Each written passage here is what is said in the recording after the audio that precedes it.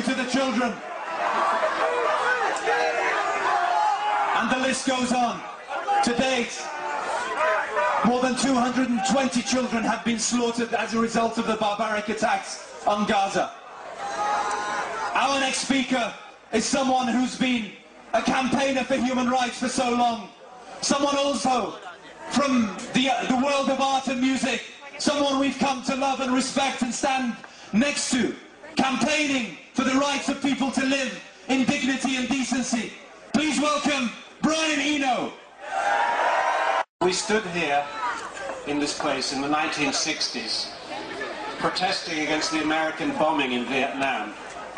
And the media said to us and the politicians said to us, but you don't understand the problem.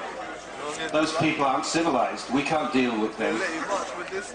We stood here then in the 1970s during the years of apartheid as the apartheid regime attacked blacks in South Africa. We protested that as well. And once again they said to us, you don't understand the problem. We can't talk to those people. They're not civilized. We stood here again in the 1990s when Bosnia was under attack by the Serbs. And once again we were told, it's too complicated. You won't get it. Don't get involved. And now we're here again when we see Gaza smashed up by bombs and rockets. And once again we're being told, you don't understand. Just leave it alone. Stay out of it. Well, let me tell you something. We don't understand. And nor does anybody else. For every problem like this, there are a million theories, a million opinions, and a million other people to say that all those opinions are wrong. But we do understand one thing, and that's that this isn't the solution.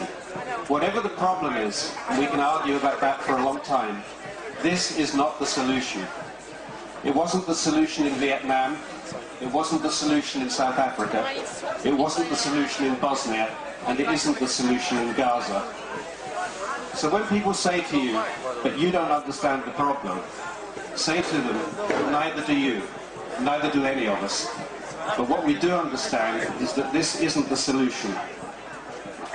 So I want to say to all of you, and especially to the Jewish people here and the Israeli people here, thank you all so much for coming. Thank you all for...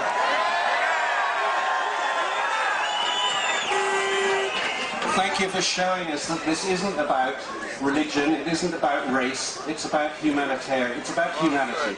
It's about people caring for. Thank you. Thank you. Thank you.